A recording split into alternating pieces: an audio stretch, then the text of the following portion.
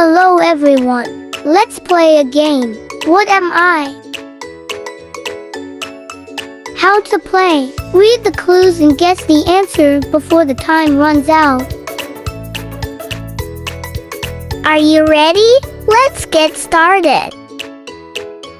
Question number one. I am a fruit. I am yellow. I am sour. Lemon. Question number two.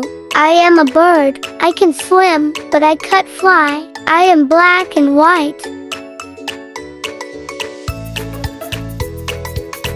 Penguin. Question number three.